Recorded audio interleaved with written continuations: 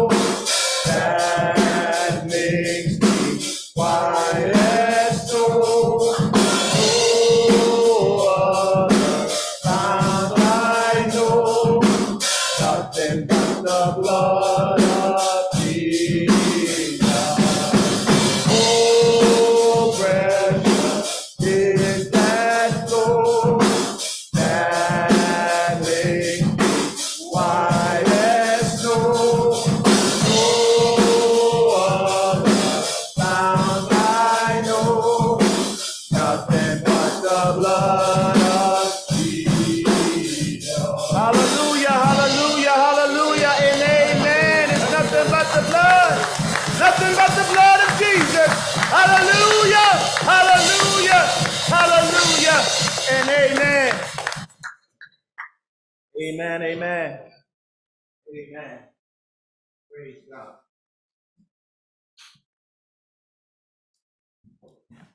Amen. It's so good to hear from the St. John's Baptist Church Men's Choir. Amen. Amen.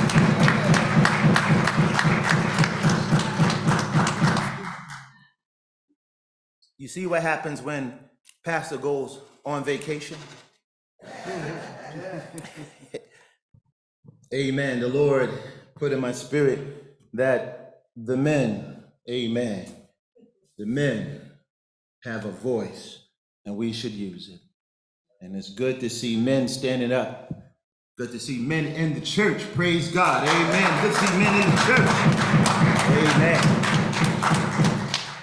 Amen. Giving all honor to the men who are standing up as godly men here in this time and season. Praise God for you. Giving all praise and honor to the Lord Jesus Christ, who is the head of my life. I love the Lord and I know that he loves me. I do thank God, not, not just also for the men, but I thank God for the women as well. Amen.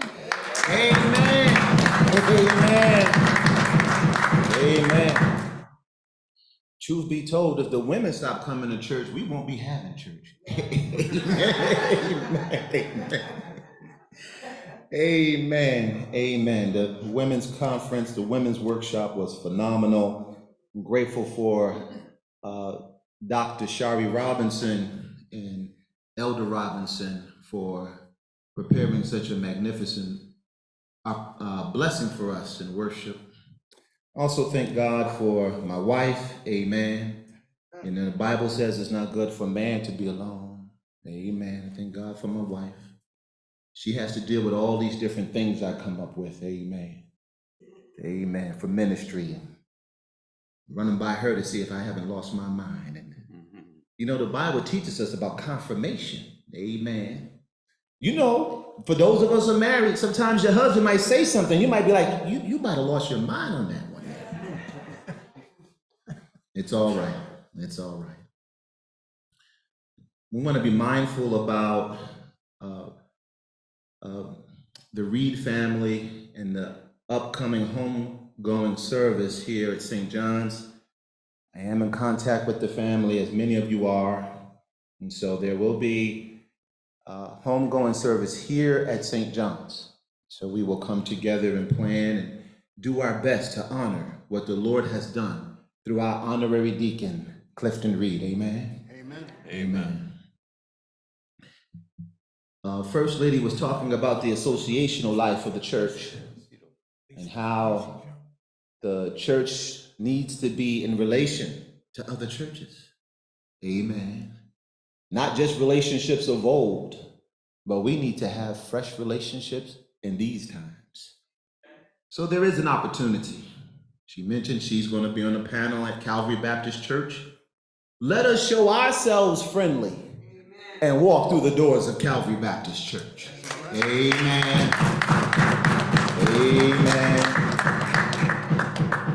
Now, we've welcomed folks here, and they've come here. We've had Calvary here on several occasions. They had a couple of members from their church here for the women's meeting and seven last words. They are in support. Even uh, Deacon Lattimore came out and worked with uh, Brother West, and we, we worked on the sound. So clearly, they befriended us, and we need to show the same friendship to them. And uh, the, the women are on fire. Praise God. The women are on fire. The spark was lit yesterday, amen, at the workshop. I said, let's not let that spark die out. And so we do have revival coming up next month where we have Reverend Dr. Uh, Vivian Hicks. We also have Reverend Brenda Brown, and we have Reverend Laura Reyes. Amen. That's intentional. We're going to have three strong women of God bringing the word. Amen. Amen. Here at St. John's Baptist Church. Let's prepare for revival. And let's not forget that Women's Week, Women's Weekend is going to be a great weekend. And, and for these things that are going on, and it, we have emphasis on women leadership, we should be in the number. Amen. A- All of us who can, especially the women. Amen. Lights. Amen. Lights. Amen. Amen. Don't crucify me over that.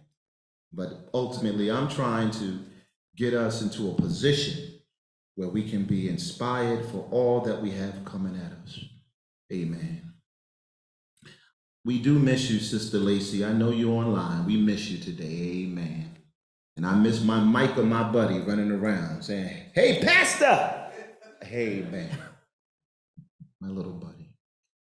There is a word from the Lord. Word from the Lord today is coming from Matthew chapter 4, verses 1 through 11. Amen.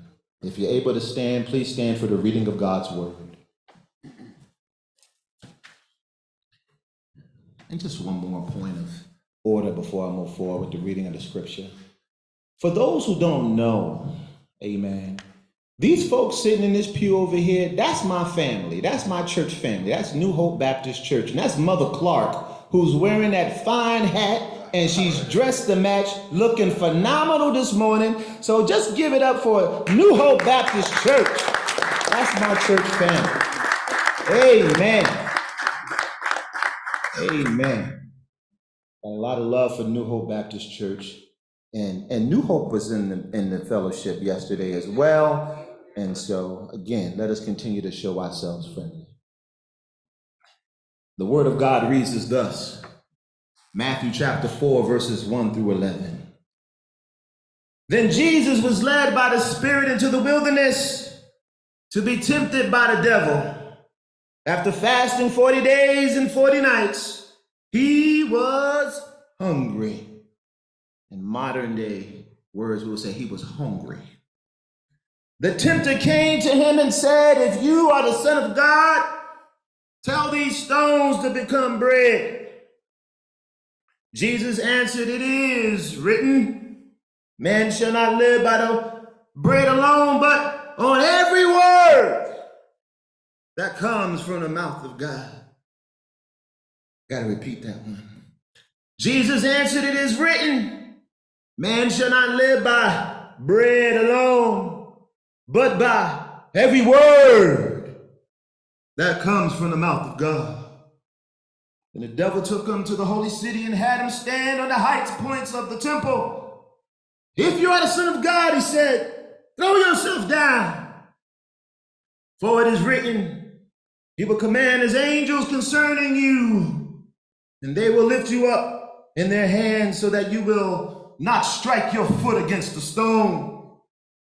Jesus answered him, It is also written, Do not put the Lord your God to the test. And again, the devil took him to a very high mountain and showed him all the kingdoms of the world and splendor. And all this I will give you, he said, if you will bow down and worship me. Jesus said to him, Away from me, Satan, for it is written, Worship the Lord your God, serve him alone, serve him only. Then the devil left him, and angels came and attended to him. Please hold on to this thought, this theme, this idea word. Word. Gracious and wise Heavenly Father, I ask that I decrease so that you may increase and your people only hear a word from you.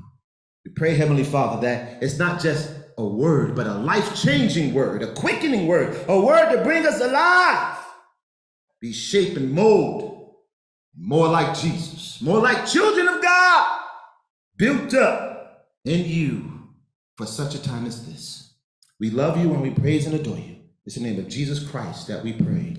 Amen. Amen. Amen. You may be seated in the presence of God. Amen. The word. The emphasis today is on the word. Praise God. Pardon me one second here. The word. How many of you are familiar with the word of God? Just by a show of hands. How many of you are familiar with the Word of God? Amen. I see one, I saw two, three, four hands. All right, five hands.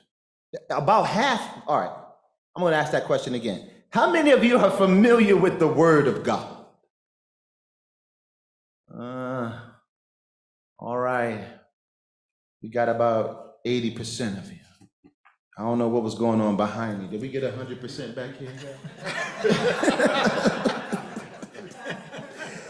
Amen. The word of God, the word of God. All right. Thus, thus saith the Lord. We find ourselves in a world today where we're being compounded by words.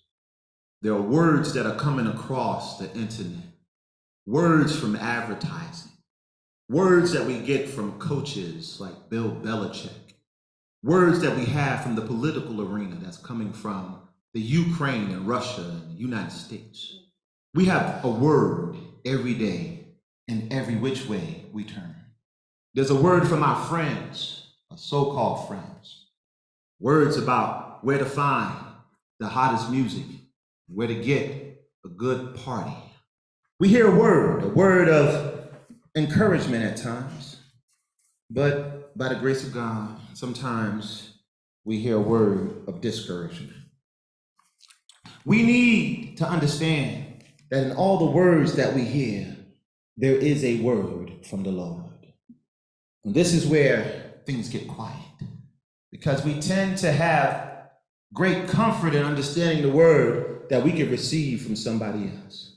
Just give me the answer, give me the method, show me where, where I can get whatever I'm looking for. But when we say what you're looking for comes from Jesus Christ, and what you need is coming from your Heavenly Father, and what you desire can be found in the might and power of the Holy Spirit, that's when things get quiet, even for the children of God. Because at times, we just are not as comfortable to walk in the authority of God's word. And when we see Jesus, our example, Jesus, the one who came down through 42 generations, born under the law for our benefit, he who did not know sin became sin for us. When we see Jesus, even as a child, he has great comfort with the word of God. How do we know this? Because we find Jesus in the temple teaching as one with the authority of God and not as the scribes. Even our children need to know the word. Our children need to have the word of God in their hearts, just like Jesus. Jesus is our example. Amen. Amen. We see that this word that Jesus had, it wasn't just situational. It was a word that he held in his heart day to day. It's a word that kept him as he grew up, become a young man. Jesus Christ relied on the word. Not just the Holy Spirit, but he relied on the word. When we look into the Bible and we see Jesus at his baptism, Jesus Christ is being baptized by John the Baptist, goes down into the Jordan River. He's baptized to fulfill all righteousness. And when he comes out the water, the Holy Spirit falls on him like a dove. And that wasn't uh, the only thing that he had the Holy Spirit. And then it was this Holy Spirit, he, the Holy Spirit, led him into the wilderness. But he wasn't there with just the Holy Spirit, he was there also with the Word of God.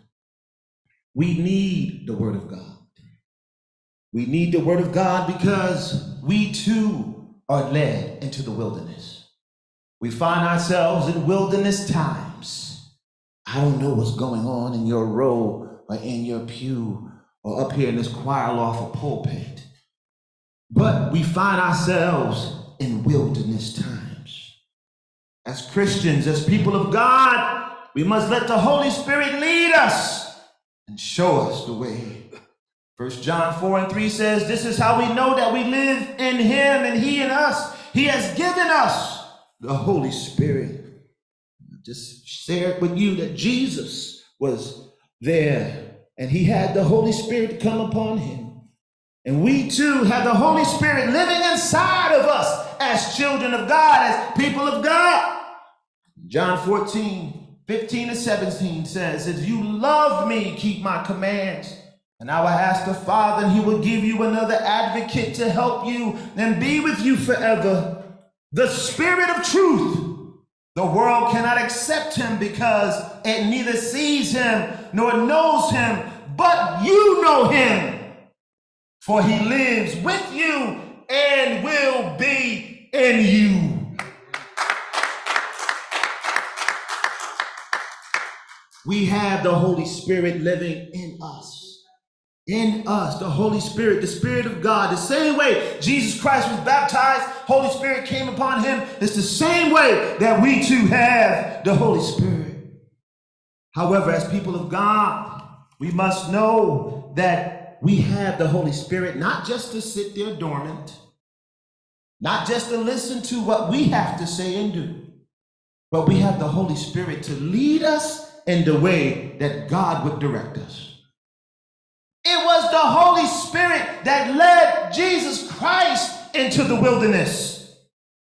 Verse 1 of chapter 4 says, Jesus Christ was led by the Spirit to the wilderness. All of us, as children of God, have wilderness experiences. It's not just the adults, but even the children. Our children will battle wilderness experiences. We cannot make believe that just because we're the parent and we're making all this provision that God has given us and this hedge of protection on our children, that they won't go through something. Children are going through wilderness experiences whether we recognize it or not. It's up to us to keep it real and understand that, yes, we have our experiences, but our children do as well. Wilderness experience is a, a rocky experience. It is a dry experience. It is a wasteland of sorts. And it can attack or come upon us in many different facets of life. But no matter where you are and what you find yourself going through, whether you're a child or whether you're an adult, whether you're a teen, whether you're a young adult, no matter what age you are in life, God is always with you in the wilderness. God is always with us. We are never alone in the wilderness. Our Lord is there in the wilderness with us, no matter how lonely we feel. And life can feel lonely at times. Bible teaches us to keep your lives free from the love of money and be content with what you have. Because God has said, this is the word of the Lord. This is what the, the living God has said for his children. Never will I leave you and never will I forsake you. You'll never be alone. Never be alone. We have to face our wilderness experience with the understanding that the Holy Spirit of God lives in us.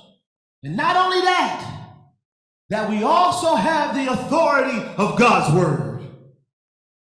We, as children of God, even the young, little, tender children of God, can walk in the authority of God's word. This is where we get quiet because we're not comfortable with that. We don't, we don't practice that. We just come in here and go through a religious routine. But the truth of the matter is, is that we can walk in the authority of God's words in the everyday of life. We can look at Israel and see this. In the wilderness, God was teaching them and molding them for 40 years.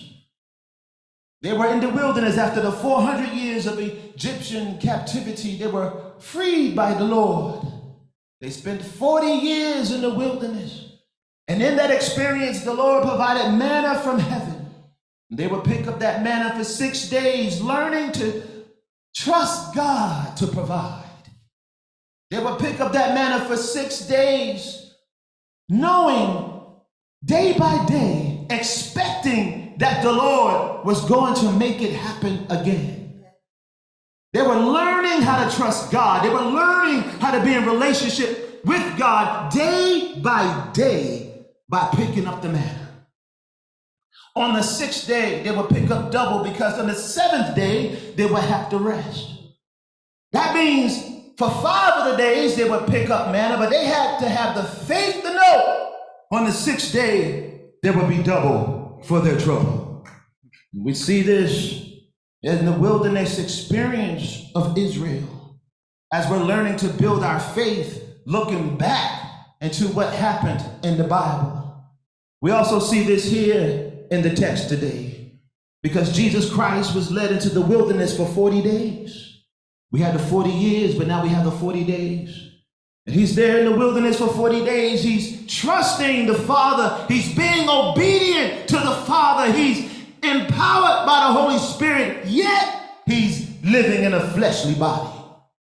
You know as well as I do that the body can take certain things, but there are some things that causes the body to break down. And there's nothing like being hungry. Real hunger, real starvation. Jesus is hungry. He's in the wilderness for 40 days. And this is when he gets attacked by Satan. When you're at your lowest point, when you're when you're going all out for the Lord and you feel like you can't do anymore and your faith is put to the test, then the tempter comes. Where is your God now? Where is the Lord now? As a matter of fact, if you claim to be as much of a Christian as you say you are, then here comes Satan trying to provoke you to do something to step out of bounds of what the Lord would have for you to do. As people of God, we ought to learn to resist the devil, he'll flee from you. Let's not step out of bounds of what God has provided for his children. Let us be obedient like Jesus. Knowing that even in the wilderness, that God is working something good out for us in the wilderness. Even with Satan all around, God is still working something good for us. And the only way to do that is if we have His Holy Spirit and we're standing on God's Word. We got to stand on the Word. We can't resist experiences in life. We have to go through experiences in life with the Holy Spirit and God's Word. Because the Bible teaches in Romans 8 and 28, and we know that in all things God works for good of those who love Him, who have been called according to His purpose. All things are working for good. We know that they work according to the purpose of the Lord. Then let us not resist. Let us go through it, even though we may have to cry at times. Let us go through it with the might and power of the Holy Spirit and strength of the Word of God. Let us walk, not rebelliously, but obedient to the Word of God. We learn here in Galatians 5 and 16. So I say, walk by the Spirit and you will not gratify the desires of the flesh. For the flesh desires what is contrary to the spirit, and the spirit what is contrary to the flesh. They are in conflict with each other, so that you are not to do whatever you want. But if you are led by the spirit, you are not under the law. What that's saying is, as people of God, we need to be spirit led, and we need to be shaped by the word of God. As Christians, as people of God, we ought to apply the word of God in our everyday lives. Each time that Satan comes up to Jesus, Jesus tells him, It is written. It is written. Jesus, full of the Spirit, but standing on the word. It is written. Man should not live by bread alone, but by every word that comes out of the mouth of God. It is written. Do not put the Lord your God to the test. It is written, worship the Lord your God only. Worship the Lord your God only. It is written. When we look at that first point, every word that comes out of the mouth of God. You know, Jesus again, he said these things when he was hungry. He said these things when he was at a moment of weakness. Jesus Christ is, he's hungry and under demonic attack. But we know that in your weakness, that the strength of the Lord is made perfect. Says here, a severe lack of food for a prolonged time has devastating effects on the body. When faced with starvation, the body fights back. The first day without food is like the overnight fast between dinner one night and breakfast the next morning. Energy levels are low, but pick up with the morning meal. Within days, faced with nothing to eat, the body begins feeding on itself. The body starts to consume energy stores, carbohydrates, fats, and proteins. Then again, the body begins to go through a metabolic transformation. The metabolism slows down. The body cannot regulate its temperature anymore. Kidney function is beginning to become impaired. The immune system weakens. When the body uses its reserves to provide basic energy needs, it can no longer supply necessary nutrients to vital organs and tissues. The heart, the lungs, the ovaries, and the testes shrink. Muscles shrink, and people feel weak, extremely weak. Body temperature drops, and people can feel chilled People become irritable and become difficult um, to concentrate. Basically, what this is saying is, is that when we don't eat, we're wasting away, and eventually death will set in. If we don't eat physical food, we die. And if we don't eat spiritual food, we also die. Same in the natural as it is in the spiritual. Spiritual food is for our spiritual nourishment, strength in the Lord. No fasting, no prayer, no praise, no worship, no word, no way we will be able to deal with wilderness experiences. We'll end up becoming a humpback Christian, a humpback Christian. Knowing I got to wait over here and a weight over here and a weight over here. And we walking around like, praise the Lord, sister. God is good, sister It's good to see you in the church. But I'm way down and I'm not living out the authority of the Lord and the word of God in my life so I can stand up straight and face the times of trouble. We need the word of God. The word of God is spiritual nourishment. The word of God strengthens us deep down in the soul. Word of God, it, it shapes and molds us. It, it prepares us to glorify Heavenly Father. 2 Timothy 3 16 to 17 preaches. All scripture is God breathed and is useful for teaching, rebuking, correcting, and training in righteousness, so that the servant of God may be thoroughly equipped for every good work. Therefore, we need the word of God to be equipped for every work that the Lord would have us to do. Jesus Christ relied on the word of God, as should we. He didn't just rely on the word, but he knew the word. When you know something is not just book knowledge, you know it because you apply it. The best way to know is to experience God. Give the Lord a try. Before you bought that car that's in the parking lot, you tried it before you bought it. Well, you need to give the good Lord a try. Try out Genesis to Revelation and see what the Lord would do. Try before you buy what this preacher's talking about. And when you know the word of, the, word of the Lord, you will be able to recall and apply. Psalms 119 and 11 says, I have hidden your word in my heart that I might not sin against you. And when you know the word of God, you just don't have it here on Sunday morning. You don't have it just on Christmas and Easter, but the word of God is in your heart there permanently. It's there for the Holy Spirit to conjure up. It's there for when the test of trial comes that you can fall back and lean and stand on the word of God no matter what comes your way because God is always there if we would just stand on the word. Word of God is necessary. And God's word is in our heart. It protects us from false doctrine. And Satan was attacking Jesus. And Satan took a scripture from the Old Testament and twisted it when you know the word of God, you just won't be twisted left and right because you'll know for yourself, thus saith the Lord. I know it because I heard it preached. I know it because I watched it lived out with the saints around me. I know it because when I was deep down and in the bottomless pit, that I stood in the word of God myself. And when I stood on God's word, I came to understand that it's true. So you can't tell me what Jesus is saying because I know, because I experienced Jesus for myself. I had the word of God. I had the word of God in me. So don't try to take scripture out of context. Folks will come and take scripture out of historical context. Folks will come and take scripture out of literary context. Folks will come and take scripture out of semantic context. They'll come and take scripture out of cultural context.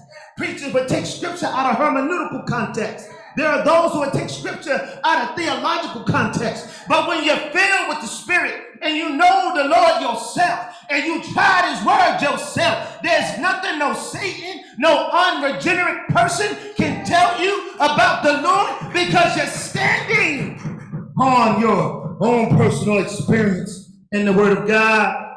We need to know the Word and practice the Word like Jesus. As Christians, as God people, we have the authority. We have the authority to rebuke. We have the authority to stand on the Word of God. Jesus did not get in a big debate with Satan. All he said is, It is written. He said, It's written, and he rebuked Satan. He said, It's written, uh, and he did it at a moment of weakness. He didn't rely on might, uh, he didn't rely on power, but he relied on the Holy Spirit uh, while he was delivering God's word. It is written. We need to have an it is written spirit. But to have an it is written spirit, you have to know what is written. It is written that the Lord will make you the head uh, and not the tail. Uh, If you pay attention uh, to the commands of the Lord, uh, you will know uh, your God uh, that He will give you this day. And if you carefully follow them, the commands of the Lord, you will always be at the top and never find yourself at the bottom.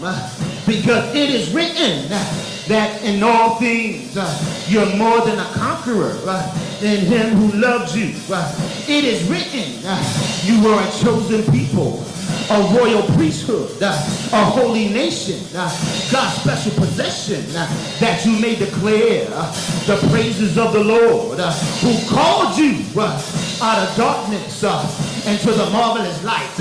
It is written, the Lord is my light and my salvation. Who shall I fear? The Lord is the strength of my life. Who shall I be afraid when the wicked advance against me? he tried to devour me. It is my enemies, my foes, who will stumble and fall. Because it is written, all things work together for the good, for those who love the Lord. It is written, you meant it for evil, God meant it for good.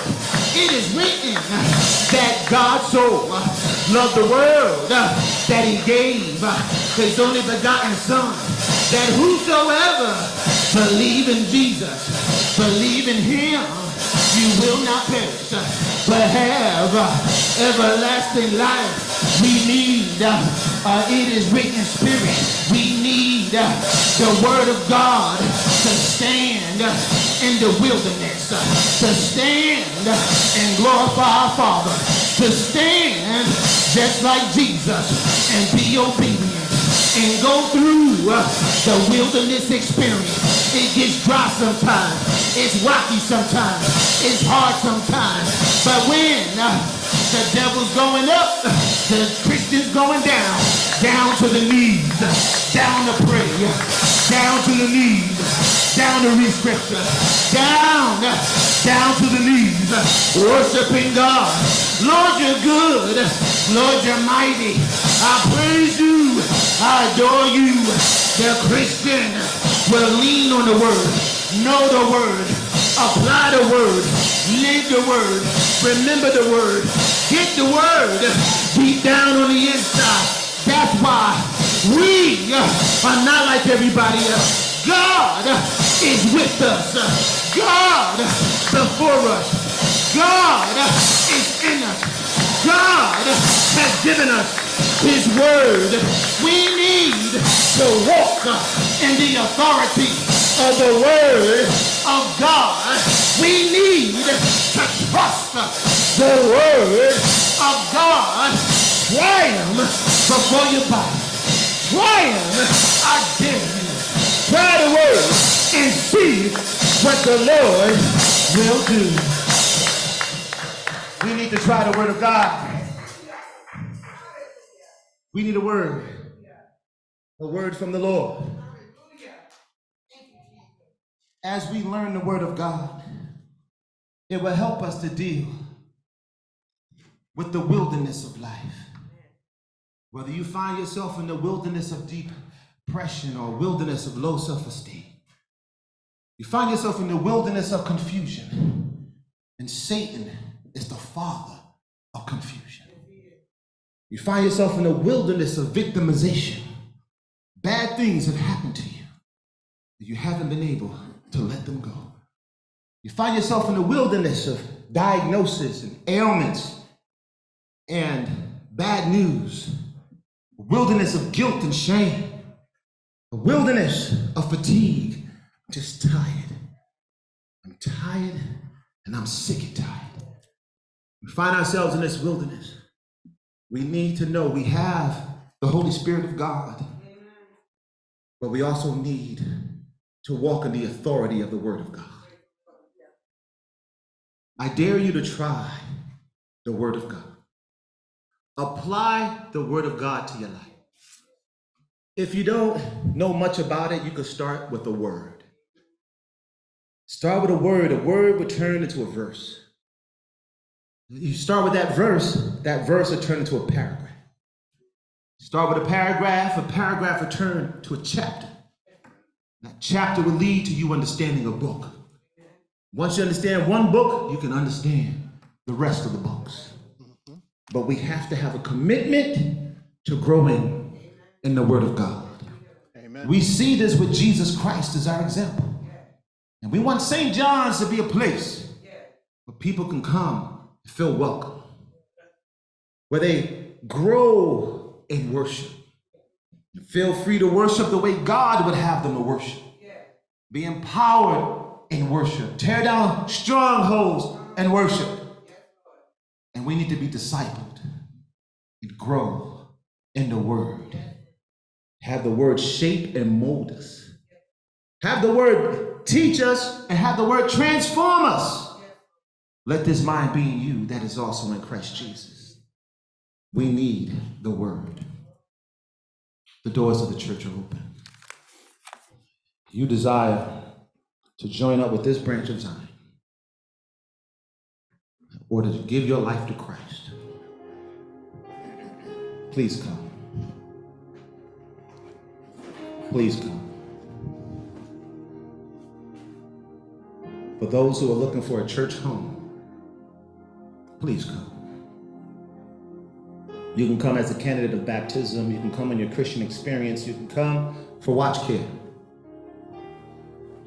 When you come, know that the Lord Jesus Christ welcomes you. He welcomes you to worship in spirit and in truth. He welcomes you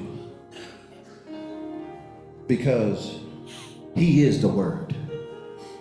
The Bible teaches us that in the beginning was the Word, and the Word was with God, and the Word was God. And also in John 1:14, the Word became flesh and dwelt among us, and we beheld His glory as the only begotten of the Father, full of grace and truth. Come, beloved.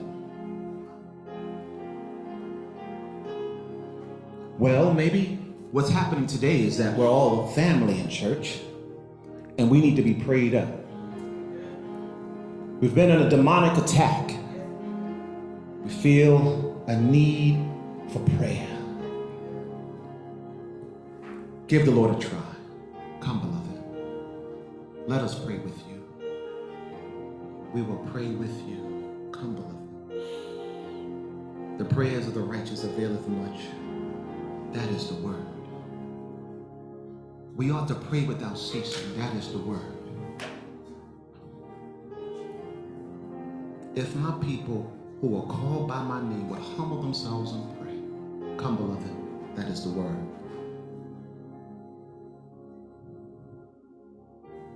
We pray for children. There's a child in here today who desires prayer. Please come. We will pray with you and pray for you. God answers our prayers.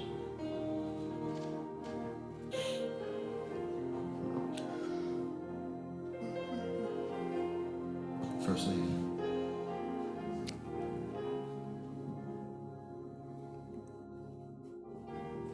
There's no reason to carry all this baggage.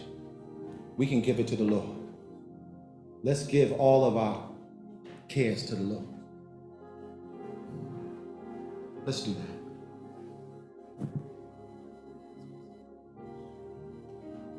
We're praying for our folks online. I hear the spirit of the people online. We're praying for you. We're praying for your children. We're praying for your family. We're praying for your health and strength. We're praying that you stay encouraged with all that you have going on.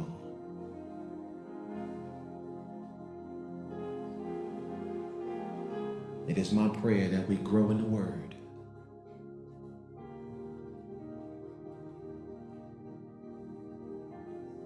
Thank you, Jesus. Thank you, Jesus. Thank you, Jesus. Thank you, Jesus. Thank you, Jesus. Hallelujah. Hallelujah. Hallelujah. He is a good God. Hallelujah. Hallelujah. Hallelujah. Thank you, Lord. Thank you, Lord. Thank you, Lord. Thank you, Jesus. We worship you. We magnify your holy name. We love you.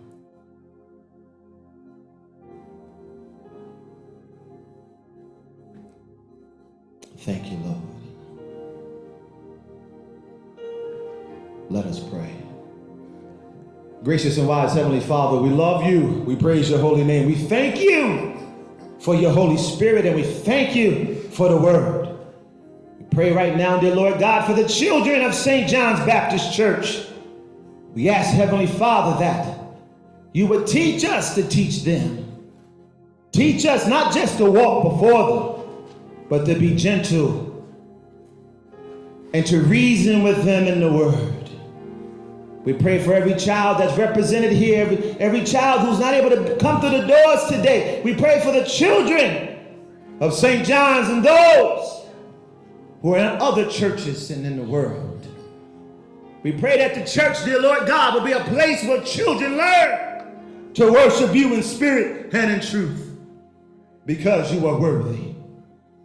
Yes, Heavenly Father, we know you have provided so many good things that are necessary in life. But there's nothing more important for survival than having a relationship with you, being empowered by your Holy Spirit, and growing in the Word. So lead us, Lord. Lead us to be a spirit filled church, walking in the authority of your Word. We be eternally grateful. In the name of Jesus, we pray. Amen. Amen and amen. If all hearts and minds are clear, we're now prepared for our benediction. Now unto him was able to keep you from falling and present you faultless before the presence of his glory with exceeding joy. To the only wise God, our Savior, be glory and majesty, dominion and power, both now and forevermore. And all God's people say, Amen. Amen. Please feel free to greet your neighbor in Christian love. Amen. If you're online, feel free to say hello to a fellow member that is online. Amen. Amen. Let's fellowship. Thank you, Lord.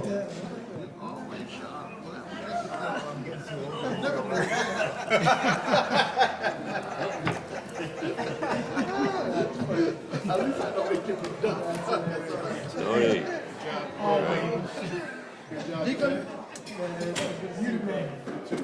you, son.